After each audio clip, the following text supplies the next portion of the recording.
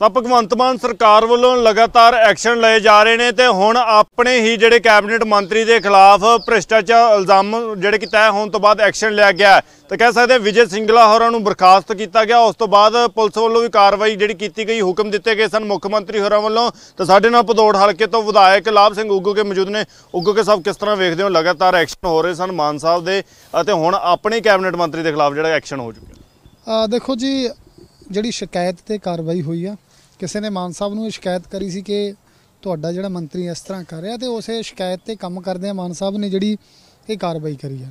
ਤੇ ਇਹ ਲੋਕਾਂ ਦੀ ਸਰਕਾਰ ਆ ਜੀ, ਜੇ ਕੋਈ ਸਰਕਾਰ ਦਾ ਅਫਸਰ ਜਾਂ ਕੋਈ ਨੁਮਾਇੰਦਾ ਲੋਕਾਂ ਨੂੰ ਇਸ ਤਰ੍ਹਾਂ ਦੀਆਂ ਜਿਹੜੀਆਂ ਸਿਫਾਰਸ਼ਾਂ ਕਰਦਾ ਜਾਂ ਉਹਨਾਂ ਤੇ ਧੱਕੇਸ਼ਾਹੀ ਕਰਦਾ ਤਾਂ ਉਹਦੇ ਤੇ ਕਾਰਵਾਈ ਬਣਦੀ ਆ ਤੇ ਉਹੀ ਮਾਨ ਸਾਹਿਬ ਨੇ ਜਿਹੜਾ ਸਾਡੇ ਮਾਨਯੋਗ ਮੁੱਖ ਮੰਤਰੀ ਉਹਨਾਂ ਨੇ ਉਹ ਕਾਰਵਾਈ ਕਰੀ। ਕਹਿ ਸਕਦੇ ਹਾਂ ਵਿਰੋਧੀ ਧਿਰਾਂ ਨੂੰ ਤੇ ਆਪਣੇ ਵਿਧਾਇਕਾਂ ਦੇ ਮੰਤਰੀਆਂ ਨੂੰ ਸੰਕੇਤ ਦੇ ਦਿੱਤੇ ਨੇ। ਮੁੱਖ ਮੰਤਰੀ ਸਾਹਿਬ ਵੱਲੋਂ ਸੰਕੇਤ ਨੇ ਕਿ ਜੇਕਰ ਕੋਈ ਹੋਰ ਵੀ ਕਰਦਾ ਫੜਿਆ ਗਿਆ ਕਿ ਭ੍ਰਿਸ਼ਟਾਚਾਰ ਜਾਂ ਜਿਸ ਤਰ੍ਹਾਂ ਦੀ ਜਿਹੜੀ ਕਿ ਹੋਵੇਗਾ ਉਸ ਤੇ ਕਾਰਵਾਈ ਕੀਤੀ ਜਾਵੇਗੀ। ਇੱਕ ਸੰਕੇਤ ਕਹਿ ਸਕਦੇ ਦਿੱਤਾ ਗਿਆ? ਦੇਖੋ ਜੀ ਸੰਕੇਤ ਤਾਂ ਹੈਗਾ ਹੀ ਹੈਗਾ ਇਹ। ਬਾਕੀ ਵਿਰੋਧੀਆਂ ਦੀ ਤਾਂ ਗੱਲ ਇਹ ਆ ਜੀ ਕਿ ਵਿਰੋਧੀ ਤਾਂ ਆਪਣੇ ਲੀਡਰਾਂ ਨੂੰ ਬਚਾਉਂਦੇ ਆਏ ਆ ਹਮੇਸ਼ਾ। ਤੁਹਾਨੂੰ ਪਤਾ ਹੋਣਾ ਕਿ ਅਸੀਂ ਲੰਮਾ ਟਾਈਮ ਭੁੱਖ ਹੜਤਾਲ ਕਰੀ ਸੀ, ਸਾਧੂ ਸਿੰਘ ਧਰਮਸੌਤ ਦੇ ਖਿਲਾਫ, ਜਿਹੜਾ ਸਾਡੇ ਗਰੀਬ ਮਜ਼ਦੂਰ ਬੱਚਿਆਂ ਦੇ ਵਜੀਫੇ ਖਾ ਗਿਆ ਸੀ। ਤੇ ਸਰਕਾਰ ਉਹਨਾਂ ਦੀ ਉਦੋਂ ਉਹਨਾਂ ਨੂੰ ਲੰਮਾ ਟਾਈਮ ਉਹਨਾਂ ਨੇ ਬਚਾ ਕੇ ਰੱਖਿਆ। ਪਰ ਇਹੀ ਹੈ ਕਿ ਐਤਕੀ ਇਹ ਸਰਕਾਰ ਲੋਕਾਂ ਦੀ ਬਣੀ ਹੈ।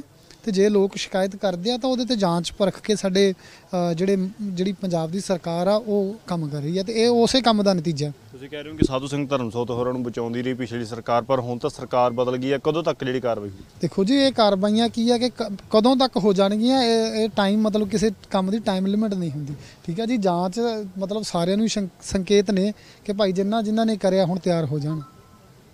ਕਿਉਂਕਿ ਸਭ ਵਿਰੋਧੀ ਧਿਰਾਂ ਇਹ ਵੀ ਕਹਿ ਰਹੀਆਂ ਕਹਿੰਦੇ ਜੀ ਇਹ ਗਲਤ ਤਰੀਕੇ ਨਾਲ ਪੂਰਾ ਟਰੈਪ ਕਰਕੇ ਫਸਾਇਆ ਗਿਆ ਇੱਕ ਪੂਰੀ ਪਲੈਨਿੰਗ ਹੋਈ ਸੀ ਕਿ ਇਹਨਾਂ ਨੂੰ ਫਸਾਇਆ ਜਾਵੇ ਵਿਜੇ ਸਿੰਗਲਾ ਅੱਛਾ ਫਿਰ ਵਿਰੋਧੀ ਧਿਰਾਂ ਨੂੰ ਕਿਵੇਂ ਪਤਾ ਸੀ ਵੀ ਇਹ ਟ੍ਰੈਪ ਹੋ ਗਿਆ? ਵਿਰੋਧੀ ਧਿਰਾਂ ਟਵੀਟ ਕਰ ਰਹੀਆਂ ਨੇ ਬਿਆਨ ਦੇ ਰਹੀਆਂ ਟਵੀਟ ਕਰਨ ਦੇ ਨਾਲ ਉਹਨਾਂ ਨੂੰ ਕਿਵੇਂ ਪਤਾ ਲੱਗ ਗਿਆ? ਇਹ ਤਾਂ ਇਹਨਾਂ ਨੇ ਗੱਲਾਂ ਕਰਨੀਆਂ ਜੀ।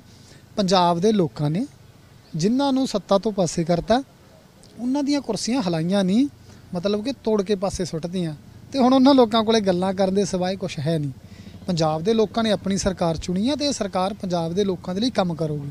ਕਿਉਂਕਿ ਸਰ ਤੁਸੀਂ ਮੰਨ ਜਿਹੜੇ ਵਿਧਾਇਕ ਹੋ ਤੁਹਾਡੀ ਚ ਗੱਲਬਾਤ ਹੁੰਦੀ ਰਹਿੰਦੀ ਹੈ ਮੰਤਰੀਆਂ ਨਾਲ ਹੋਵੇ ਗੱਲਬਾਤ ਮੁੱਖ ਮੰਤਰੀ ਦਫ਼ਤਰ ਦੇ ਵਿੱਚ ਗੱਲਬਾਤ ਹੋਵੇ।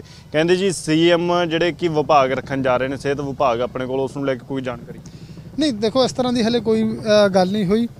ਹਾਂ ਦੇਖੋ ਆਉਣ ਵਾਲੇ ਦਿਨਾਂ ਦੇ ਵਿੱਚ ਕਿਸੇ ਨਾ ਕਿਸੇ ਨੂੰ ਇਹ ਸਿਹਤ ਵਿਭਾਗ ਦਿੱਤਾ ਹੀ ਜਾਣਾ। ਉਹ ਜਦੋਂ ਕੋਈ ਅੱਗੇ ਕਿਉਂਕਿ ਕੱਲ ਹੀ ਇਹ ਗੱਲ ਹੋਈ ਆ ਤੇ ਆਉਣ ਵਾਲੇ ਦਿਨਾਂ ਦੇ ਵਿੱਚ ਸਾਡੀ ਕੈਬਨਿਟ ਮਾਨਯੋਗ ਮੁੱਖ ਮੰਤਰੀ ਸਾਹਿਬ ਕਿਸੇ ਜ਼ਿੰਮੇਵਾਰ ਬੰਦੇ ਨੂੰ ਜ਼ਰੂਰ ਇਸ ਦੀ ਜਿਹੜੀ ਜ਼ਿੰਮੇਵਾਰੀ ਉਹ ਸੌਂਪਣਗੇ ਅੱਗੇ।